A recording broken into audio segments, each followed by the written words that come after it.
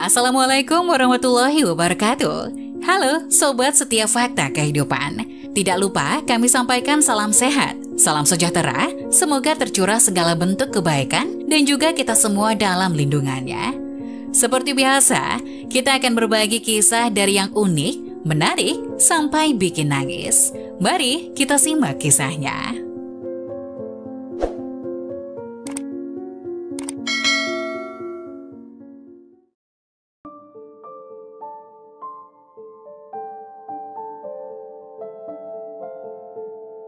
Istri nggak bisa apa-apa di rumah, suami langsung mengembalikannya. Beberapa minggu kemudian ia menyesal. Tidak ada manusia yang terlahir sempurna. Semua orang punya kekurangan dan kelebihan masing-masing. Baik dirimu maupun kekasih, kamu dan dia punya kekurangan satu sama lain. Ketika kamu jatuh cinta pada orang yang sekiranya punya kekurangan, jangan mudah untuk menyerah dengan cintanya. Sebab cinta itu harus saling menguatkan, Cinta juga tak bisa terjalin dengan baik jika hanya berjuang satu sisi semata. Berusahalah untuk menerima kekurangan yang ia miliki, karena selama ini ia juga sudah menerima kekuranganmu. Justru sebaliknya, tutupi kekurangan pasangan dengan kelebihan yang kamu punya. Beri dia kesempatan untuk merubah diri lebih baik. Ajak dia juga agar mau menutupi kekuranganmu. Berjuang dan setia bersama merupakan kunci sukses sebuah hubungan. Di sebuah kota kecil yang damai, hiduplah dua orang muda yang bernama Maya dan Rizky. Keduanya tumbuh di lingkungan yang berbeda, tetapi takdir mempertemukan mereka di sebuah acara amal yang diadakan oleh komunitas setempat. Mata mereka bertemu di antara kerumunan, dan dari situlah kisah cinta mereka dimulai. Maya, seorang mahasiswa muda yang penuh semangat, sedang menghadapi tantangan dalam mengejar mimpi. Di sisi lain, Rizky seorang insinyur muda yang ambisius, fokus pada karirnya yang sedang berkembang. Meskipun berbeda dalam minat dan latar belakang, keduanya merasakan ikatan khusus yang sulit dijelaskan. Setelah pertemuan pertama mereka, Maya dan Rizky mulai mengenal satu sama lain dengan lebih dalam. Mereka sering berbagi cerita, mimpi, dan ketakutan. Perlahan tapi pasti, persahabatan mereka berkembang menjadi sesuatu yang lebih dari sekedar pertemanan. Ada perasaan yang tumbuh di antara mereka, tapi keduanya enggan mengungkapkannya karena takut merusak hubungan yang sudah terjalin. Suatu hari, di tengah hujan lebat, Rizky mengajak Maya untuk makan malam. Di atmosfer yang romantis dan cahaya lilin, Rizky akhirnya mengungkapkan perasaannya. Maya yang merasa hal yang sama dengan senang hati menerima perasaan Rizky. Mereka memulai hubungan dengan penuh kasih sayang dan dukungan satu sama lain. Kisah cinta mereka penuh dengan perjalanan yang indah dan tantangan. Maya dan Rizky saling mendukung dalam meraih impian mereka. Maya membantu Rizky untuk lebih mengenal seni, sementara Rizky memberikan dukungan tanpa syarat untuk impian seni Maya. Mereka mengalami kenaikan dan penurunan bersama, tapi selalu menemukan cara untuk bersama-sama mengatasi setiap rintangan. Seiring berjalannya waktu, Rizky melamar Maya di taman yang penuh bunga yang indah. Dengan penuh sukacita, Maya menerima tawaran Rizky untuk menjadi pendamping hidupnya. Pernikahan mereka diadakan di sebuah gereja kecil yang indah di kota, dihadiri oleh keluarga dan teman-teman terdekat. Hari pernikahan itu penuh dengan cinta, tawa, dan kebahagiaan. Setelah upacara pernikahan, Maya dan Rizky bersama-sama memasuki babak baru dalam kehidupan mereka. Seminggu setelah menikah, Maya dan Rizky memulai petualangan baru mereka sebagai suami istri. Mereka pindah ke rumah baru yang mereka rancang bersama untuk memulai kehidupan baru mereka. Setelah pernikahan yang penuh kebahagiaan, hari ini adalah hari pertama mereka sebagai pasangan suami istri di rumah baru. Rumah baru itu dipenuhi dengan aroma bunga segar dan kehangatan cinta. Saat Maya dan Rizky tiba di sana, mereka disambut oleh suasana yang penuh kegembiraan. Namun sebelum memasuki rumah, orang tua Maya yang hadir dalam pernikahan mereka mengajak Rizky berbicara sejenak di taman belakang. Orang tua Maya, Pak Kusuma, dan Ibu Win adalah pasangan yang telah menikah selama puluhan tahun. Mereka melihat kebahagiaan dan cinta yang tumbuh di antara Maya dan Rizky. Dan mereka ingin berbagi beberapa kata bijak untuk memandu langkah-langkah baru pasangan muda ini. Dengan senyum hangat, Pak Kusuma memulai. Rizky, kita tahu bahwa kalian berdua memiliki cinta yang kuat dan satu sama lain. Hari ini adalah awal dari perjalanan yang panjang dan penuh makna kami ingin memberikan beberapa nasihat yang mungkin bermanfaat bagi kalian berdua. Pertama-tama, ingatlah selalu untuk saling mendengarkan. Komunikasi yang baik adalah kunci dalam setiap hubungan. Jangan pernah ragu untuk berbicara tentang perasaan kalian, baik sukacita maupun kesulitan. Ibu Win menambahkan. Pak Kusuma tersenyum. Kedua, selalu hargai dan hormati satu sama lain. Terkadang perbedaan pendapat akan muncul, tapi dengan saling menghormati, kalian dapat melewati segala rintangan. Ibu Win menutup pesan mereka dengan haru, dan yang terakhir, cintailah satu sama lain setiap hari. Jangan pernah lupa mengungkapkan cinta kalian. Hari ini adalah awal dari perjalanan panjang dan setiap momen bersama itu berharga. Rizky yang mendengarkan dengan penuh perhatian bersyukur atas nasihat berharga yang diberikan orang tua Maya. Dengan hati yang penuh haru, ia berjanji untuk menjaga dan merawat cinta yang telah mereka bangun bersama Maya. Setelah berbicara dengan orang tua Maya, Rizky merasa lebih siap memulai babak baru kehidupannya sebagai suami dan segera bergabung dengan Maya di dalam rumah. Saat mereka memasuki pintu, tangan mereka saling bergandengan, siap menghadapi petualangan yang menanti di hari-hari mendatang. Maya dan Rizky memasuki rumah baru mereka dengan hati yang penuh kebahagiaan. Meskipun sebelumnya mereka telah membayangkan rumah mereka dengan desain yang indah, kini rasanya lebih nyata saat mereka melangkahkan kaki ke dalamnya sebagai suami istri yang baru menikah.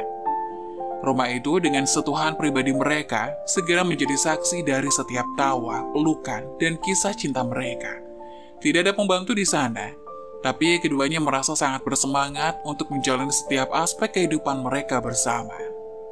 Suatu hari, setelah beberapa bulan menikah, Rizky mulai menyadari bahwa Maya yang selalu dimanjakan oleh orang tuanya tampak kesulitan dalam mengurus rumah tangga. Rumah yang dulu begitu rapi dan bersih sekarang terlihat agak berantakan. Dan tugas sehari-hari seperti memasak dan membersihkan tampaknya melebihi kemampuan Maya.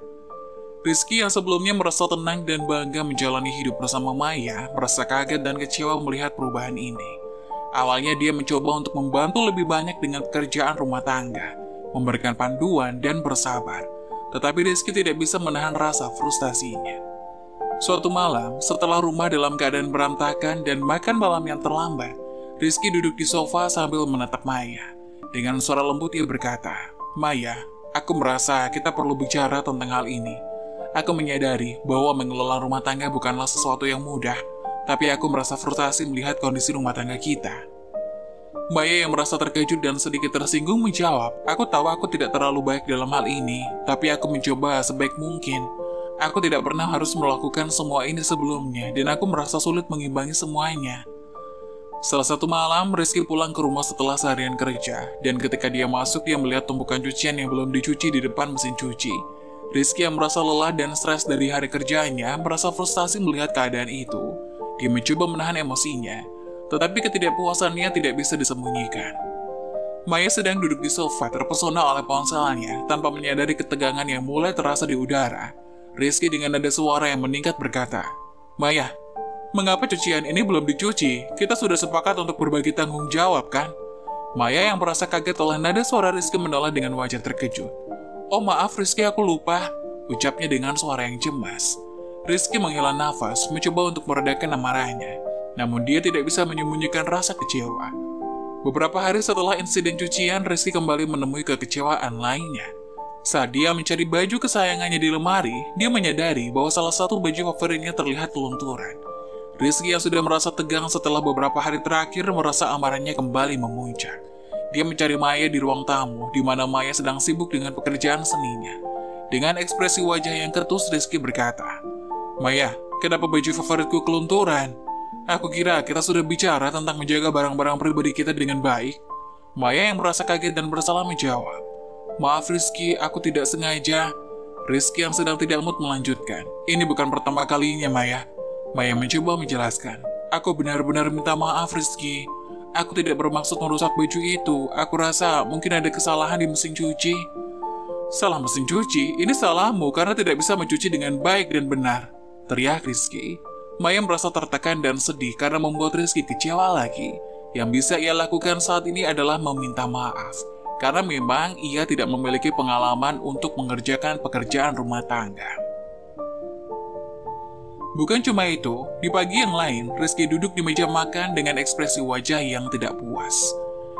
Di hadapannya terdapat sepiring bubur yang biasanya disiapkan Maya. Rizky yang merasa bosan dengan rutinitas sarapan yang sama setiap hari memutuskan untuk menyampaikan keinginannya pada Maya.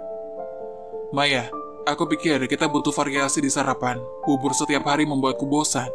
Bisakah kamu mencoba masakan sesuatu yang berbeda? Ujar Rizky dengan nada yang sedikit tertekan. Maya yang sebelumnya tidak menyadari bahwa Rizky mulai bosan menjawab dengan malu-malu. Maaf Rizky, aku pikir kamu suka bubur, jadi aku selalu menyediakannya. Rizky merasa frustasi karena merasa sulit untuk mengungkapkan keinginannya. Tapi Maya, kita perlu variasi. Aku rasa sudah saatnya kita mencoba menu sarapan yang berbeda. Bisakah kamu mencoba memasak sesuatu yang lain? Maya yang tidak memiliki keterampilan memasak yang baik merasa tertekan dengan permintaan itu. Dia mencoba menjelaskan. Rizky, aku tidak terlalu pandai masak. Aku lebih suka membeli makanan siap saji atau mengandalkan bubur sebagai pilihan yang mudah. Rizky yang sudah merasa lelah dengan kebiasaan itu tidak bisa menyembunyikan kekecewaannya. Mai, kita sudah menikah, dan bagian dari itu adalah saling mengimbangi kebutuhan dan keinginan kita. Maya merasa terpukul dan bersalah karena tidak bisa memenuhi harapan Rizky. Rizky yang merasa frustasi dan marah meninggalkan meja makan tanpa menyelesaikan sarapannya. Suasana di rumah mereka menjadi tegang dan keduanya merasa sulit untuk mengekspresikan perasaan masing-masing. Maya yang merasa tertekan dalam permintaan Rizky untuk memasak memutuskan untuk mencoba memasak sesuatu yang berbeda. Tapi karena keterbatasan pengalaman memasaknya, hasilnya tidak memuaskan. Setelah mencicipi masakan Maya, Rizky mencoba menahan ekspresi kekecewaannya. Tapi ekspresi di wajahnya tidak bisa disembunyikan. Rizky berkata dengan kecewa, Maaf Maya, tapi rasanya agak kurang enak. Mungkin seharusnya mempertimbangkan untuk mencari resep yang lebih sederhana terlebih dahulu. Maya yang merasa tidak percaya diri menjawab dengan canggung. Aku minta maaf Rizky, aku benar-benar mencoba yang terbaik. Mungkin aku memang tidak terlalu pandai memasak. Rizky yang merasa bete dan frustasi bangkit dari meja makan tanpa menyudahi sarapannya. Aku punya pertemuan penting di kantor, maaf Maya aku harus segera pergi sekarang. Ujarnya tanpa menatap mata Maya. Maya merasa sedih dan bersalah melihat Rizky pergi begitu saja. Setelah suaminya pergi, dia duduk di meja makan dengan perasaan yang berat. Maya menangis dalam kesendirian. Ia juga tidak mungkin menyalahkan orang tuanya yang telah mendidiknya dengan baik. Ia juga tidak menyalahkan suaminya yang mengharapkan istri yang pintar memasak dan mengurus rumah. Lagi-lagi Maya tertekan dan sibuk menyalahkan dirinya sendiri. Rasa penyesalan mulai menyelimuti hati Maya. Harusnya dulu ia tak langsung menerima ajakan Rizky untuk menikah. Harusnya ia belajar lebih dulu untuk menjadi istri dan ibu rumah tangga yang baik. Jadi hal ini tidak akan terjadi. Tapi nasi sudah menjadi bubur, Maya yang tidak bisa apa-apa hanya bisa menangis. Bahkan saat dirinya mencari tutorial memasak di YouTube pun, dirinya tidak mengerti nama-nama bumbu dapur dengan baik. Beberapa hari setelah insiden memasak yang tidak memuaskan, suasana di rumah Rizky dan Maya menjadi tegang. Pagi itu Rizky siap-siap ke kantor tanpa menyapa Maya atau menunggu sarapan bersamanya seperti yang biasa mereka lakukan. Maya yang merasa kesedihan dan kecemasan mencoba untuk memulai percakapan. Rizky, apa kita tidak akan sarapan bersama hari ini? Tanyanya dengan suara lembut. Rizky yang masih merasa bete dari kejadian sebelumnya menjawab dengan singkat. Aku buru-buru Maya, nanti saja aku akan makan di kantor. Maya merasa semakin sedih dan kesepian. Dia berusaha menahan air matanya ketika Rizky meninggalkan rumahnya tanpa memberikan tatapan atau kata-kata yang hangat. Keesokan harinya kejadian yang sama terulang lagi. Rizky terus pergi ke kantor tanpa sarapan bersama. Beberapa bulan telah berlalu sejak peristiwa-peristiwa sebelumnya, dan Rizky dan Maya memasuki fase baru dalam pernikahan mereka. Meskipun mereka masih berdua, terkadang Maya merasa sedikit diabaikan dan merindukan keintiman yang lebih dari Rizky. Suatu hari, Maya merasa frustasi dan ngambek karena merasa hubungan mereka sudah tidak sangat dulu. Setelah Rizky pulang dari kantor, dia mencoba menciptakan momen yang romantis. Tetapi Rizky terlihat sibuk dengan pekerjaan dan tidak terlalu responsif. Maya yang merasa hatinya terluka memutuskan untuk menyampaikan perasaannya. Rizky, aku merasa kita sudah tidak sesayang dulu. Kamu terlalu sibuk dengan pekerjaanmu, dan aku merindukan kehangatan kita. Rizky yang mendengar keluhannya hanya bisa mematung saja tanpa memberikan respon apa pun. Maya yang merasa perlu untuk dihargai dalam hubungan mereka berkata dengan nada kesal. Kita masih pengantin baru Rizky. Aku ingin kita tetap mesra seperti awal-awal pernikahan kita, bukan malah seperti sekarang. Tapi bukannya menjawab tensi Rizky malah naik, dan untuk pertama kalinya pertengkaran terjadi dalam rumah tangga yang masih berumur jagung itu. Suasana di rumah Rizky dan Maya makin tegang. Rizky yang merasa beban pekerjaannya semakin bertambah, pulang ke rumah dengan harapan dapat bersantai dan menikmati makan malam. Namun ketika dia masuk ke dapur, dia menemukan bahwa tidak ada persiapan makanan dan rumah terlihat berantakan. Rizky yang merasa kecewa dan lelah mencoba menyampaikan perasaannya dengan suara yang meningkat. Maya, Aku pulang dengan harapan bisa bersantai dan menikmati makan malam bersama. Kenapa rumah masih berantakan dan kenapa tidak ada makanan yang disiapkan? Maya merasa terluka oleh kata-kata Rizky dan merenung tentang bagaimana dia bisa mengatasi tantangan ini. Pada akhirnya karena sudah kalah, Rizky pun mengajak Maya untuk naik mobil ke rumah orang tua Maya. Keputusan Rizky untuk mengembalikan Maya kepada orang tuanya adalah langkah yang ekstrim dan penuh konsekuensi. Pada suatu hari setelah pertengkaran, suasana di rumah makin tegang. Rizky yang masih merasa kesal dan kecewa mengambil keputusan drastis untuk memberi waktu dan ruang kepada keduanya. Maya, aku pikir kita perlu waktu sendiri untuk merenungkan dan mencari solusi atas permasalahan kita. Aku rasa lebih baik jika kamu kembali sejenak ke rumah orang tuamu, kata Rizky dengan suara yang dingin. Maya yang kaget dan terpukul mencoba menahan air mata. Rizky, apa kamu serius? Aku tahu aku membuat kesalahan, tapi apakah kita tidak bisa mencari solusi bersama? Rizky bersikeras. Aku butuh waktu untuk merenung, dan kita perlu ruang untuk berpikir. Ini untuk kebaikan kita berdua. Aku ingin kamu pergi sejenak, dan mungkin kita bisa meresapi apa yang benar-benar kita butuhkan dalam hubungan ini. Maya tanpa banyak pilihan akhirnya setuju untuk kembali ke rumah orang tuanya. Dengan hati yang hancur, dia mengumpulkan beberapa barang pribadinya dan meninggalkan rumah mereka untuk sementara waktu. Suasana di rumah Maya dan Rizky semakin tegang. Rizky merasa perlu untuk bicara dengan kedua orang tua Maya. Dia ingin mengungkapkan kekecewaan dan ketidakpuasan terhadap kondisi rumah tangganya yang makin tegang. Suatu hari, Rizky datang ke rumah orang tua Maya untuk menyampaikan perasaannya. Dengan ekspresi wajah yang tegang, Rizky duduk di hadapan kedua orang tua Maya. Maaf pak, bu, aku merasa perlu bicara dengan kalian tentang Maya dan kondisi rumah tangga kita. Kenapa Maya tidak bisa apa-apa di rumah? Bapak dan ibu terlalu memanjakan Maya, hingga Maya tidak bisa masak, mencuci, bahkan menyapu lantai. Sebenarnya apa yang bapak dan ibu ajarkan kepada Maya hingga Maya menjadi istri yang tidak becus mengurus rumah? Ibu Maya yang merasa sedikit tersinggung bertanya, Apa maksudmu Rizky? Kami telah mendidik Maya dengan baik dan memberinya segala yang dia butuhkan. Itulah salah bapak dan ibu, selalu mencukupi dan memberi segala yang diinginkan Maya hingga Maya tidak bisa mandiri. Maya yang mendengar omelan dari suaminya itu hanya bisa menangis tersenduh di pelukan ayahnya. Ibu Maya masih terpukul dengan kata-kata Rizky yang mengkritik pendidikan dan nilai-nilai yang diterapkan padanya. Ibu Maya merasa sakit hati dan perlu untuk mengekspresikan perasaannya. Mereka bertemu di ruang keluarga untuk membahas masalah ini.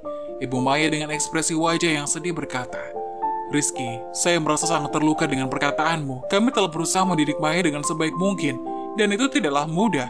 Saya merasa kecewa bahwa kamu merasa kamu tidak memberikan nilai-nilai yang cukup padanya. Rizky yang merasa terdesak dan mungkin kurang berpikir sebelumnya menjawab dengan sedikit kebimbangan.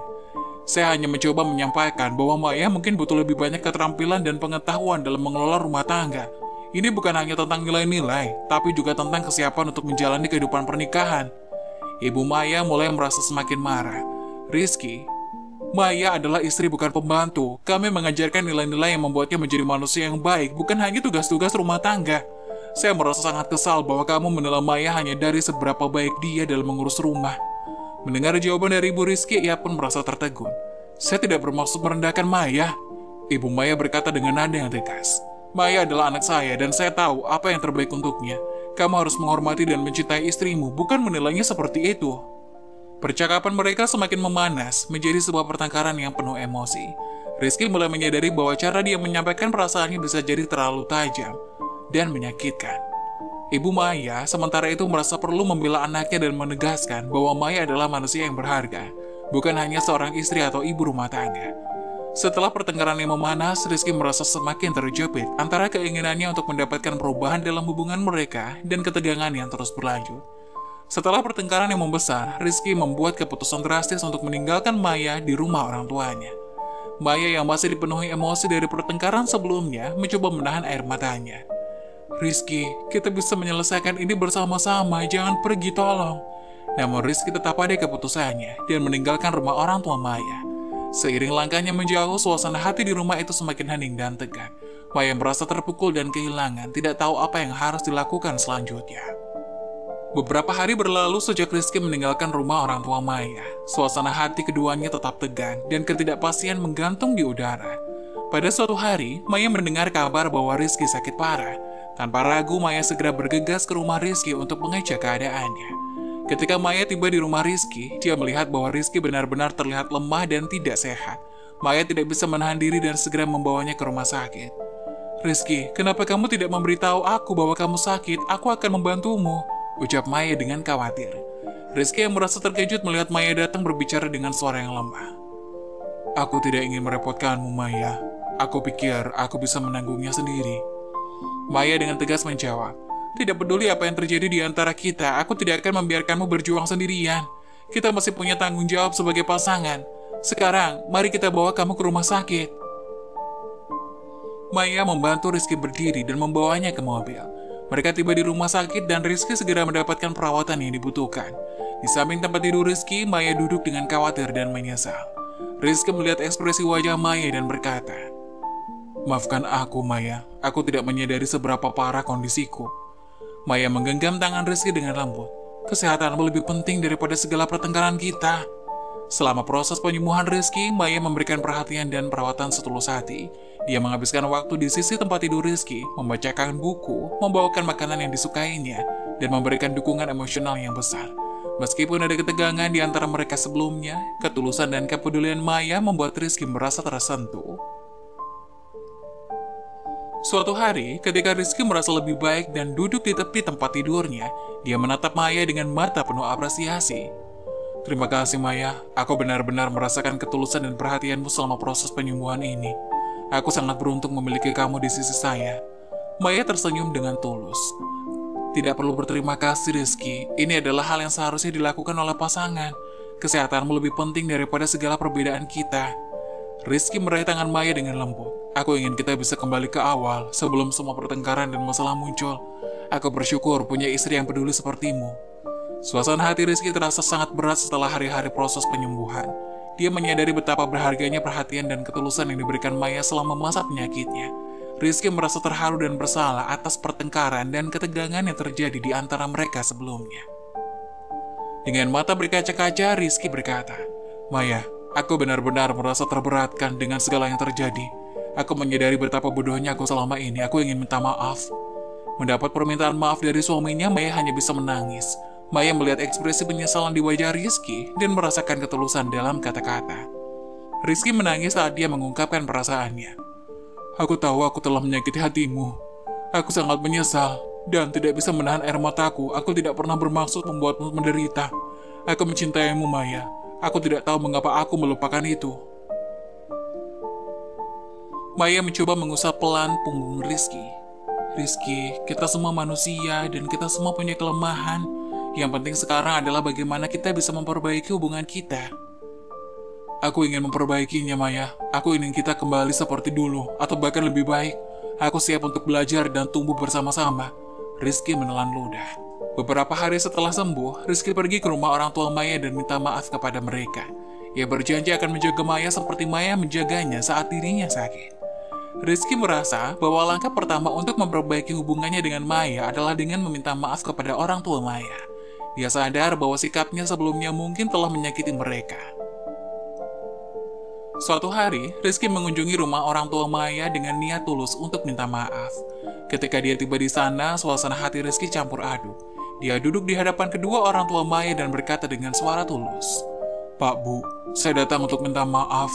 Saya menyadari bahwa tindakan dan kata-kata saya mungkin telah membuat kalian merasa kecewa dan terluka. Ibu Maya menatap Rizky dengan tatapan yang penuh emosi. Kamu tidak perlu minta maaf, Rizky. Yang penting sekarang adalah bagaimana kita bisa membangun kembali hubungan ini. Rizky mengangguk. Saya benar-benar menyesal atas segala kesalahan saya. Saya merasa bersalah karena telah menambah beban pada keluarga ini. Saya ingin memperbaiki hubungan saya dengan Maya dan dengan kalian.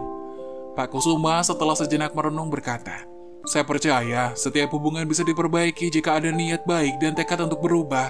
Tapi tindakanmu yang sebenarnya yang akan membuktikannya.